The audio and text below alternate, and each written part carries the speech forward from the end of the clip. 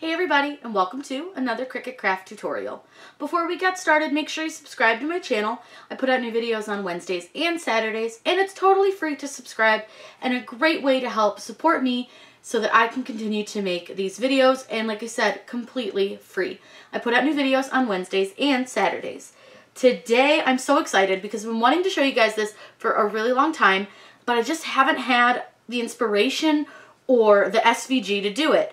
I'm going to show you guys how to make your very own puzzles. These are so much fun.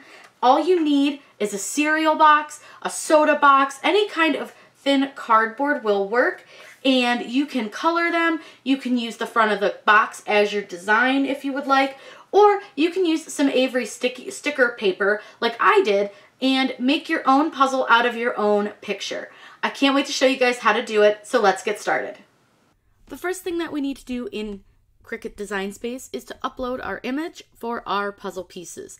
So we're going to click Upload Image. I'm going to go ahead and click on Browse, and we are going to find the puzzle folder, which is right here. This is in the 9 Jigsaw Puzzle. You'll need to use the SVG, so open the SVG folder, and we're going to use Jigsaw 5 because I think that has enough pieces for what I want to do. So go ahead and click on Save and then you're going to go ahead and insert your image into your design space. Now from here, you can resize it so that it fits within the area that you are using. Now I'm just going to make a random puzzle by using some sticker paper that we're going to cut out and put on top of a cereal box. The next step is to load in the photo or design that you want to use on your puzzle. So we'll click upload. I'm going to upload an image, click browse, and go to my Cricut folder because that's where I saved the image that I want to use. You can use anything that you want. I'm just going to use a picture from our Disney trip. Just have to find it. There it is. We will upload that. I'm going to choose complex. Just click continue and continue again. You don't need to clean this up and you want to save it as a print then cut image. Click on save and it does take a second longer to save the print then cut images and then you're going to go ahead and insert your image. And we want to make sure that our puzzle and our picture are the same size and that they fit within the parameters of the print then cut options. So you can print up to 6.75 by 9.25. So this is our widest point. So we're going to go ahead and make the 9.25 the largest side. And then we're going to change this one so that it matches that size. So we're going to do 9.25 over here.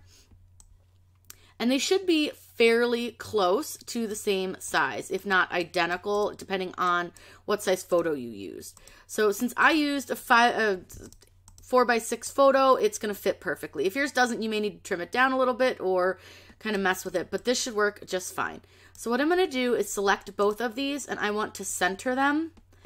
That way it's going to cut them in the right spot. You don't want to um, have it off aligned a little bit. You want to make sure that it's perfect.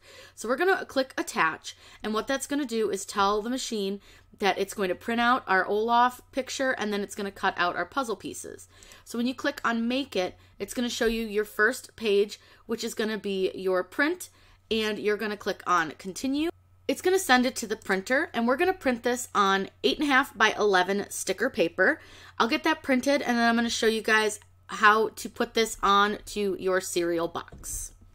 So what I've done is cut the front off of a cereal box. Doesn't have to be great cut, but just make sure you get that cut off. And then what we're going to do is take our sticker paper and lay it down on our cereal box. So I'm going to use my pin pen because I can never get the corners of these started no matter what I do. But the pin pen is great for this. And then we are going to lay our sticker paper down onto our cereal box. The biggest thing is to make sure that the actual photo is on the box and it doesn't matter if some of the rest of the paper is hanging off, but you want to make sure that the cereal box is under your photo. So we're just to get that all laid down. Give it a nice press to make sure it is laid down nice and neatly. Get out any kind of bubbling that you might have. And there you go. So this is step number one. Then what you need is a super sticky mat. Don't use like a strong grip, but a newer green mat is what I recommend. you are going to lay your design down onto your mat. You can trim off this little edge right here if you want, but I'm not gonna bother. It should be just fine. And we are going to go set our machine to cut the right material. Over in Design Space, we will browse all materials, and they do have a cereal box setting. So just search for cereal box. Go ahead and select that. Now with this one, I'm going to put it on more pressure because I added that sticker paper and my blade's getting a little bit dull. So I'm going to need a little bit more pressure to cut mine, but it should be just fine. So let's go back over to the machine so you guys can watch it cut.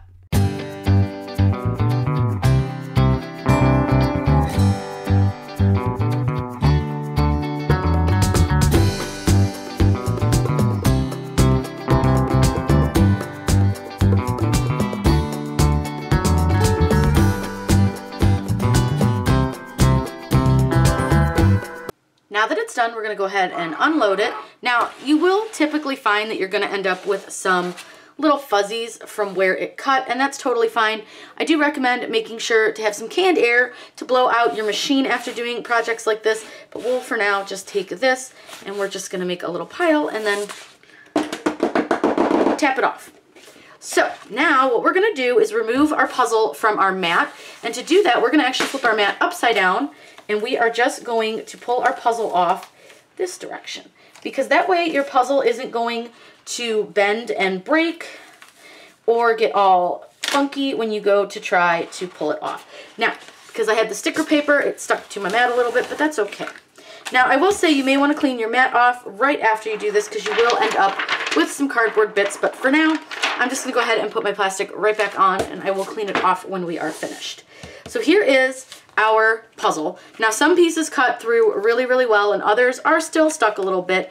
Like I said, my blade's a little bit dull, so that probably had something to do with this, but we're gonna pull out what pieces we can, and then we may just take the X-Acto knife along the edges here, just to kind of get it to cut through the rest of the way. It's almost fully cut, it's just a little bit little bit stuck still, but it's it, you can see it came right off. I barely pressed. So let's go ahead and put our puzzle out and I'm going to get all our pieces apart and then we can put our puzzle together. All right, let's put this puzzle together. Now this SVG came with a bunch of different options. So you had a big puzzle or little puzzles. So there's a lot of different things that you could do with them. So we're just going to go ahead and get this guy put together. You could do this um, with your knife blade and some chipboard if you wanted to as well. I don't have any chipboard on me, so I did not do it that way, but you can, and it will make your puzzle sturdier than just doing it on the um, cardboard. So you can absolutely do that.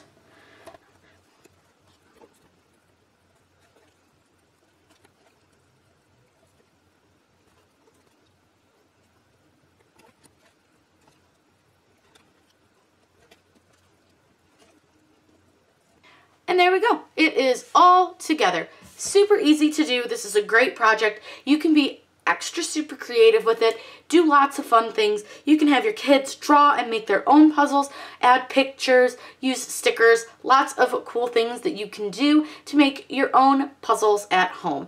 If you guys have any questions, please let me know in the comments down below. I'm always happy to answer those for you. Make sure you subscribe to my channel. I put out new videos on Wednesdays and Saturdays with the occasional bonus live video.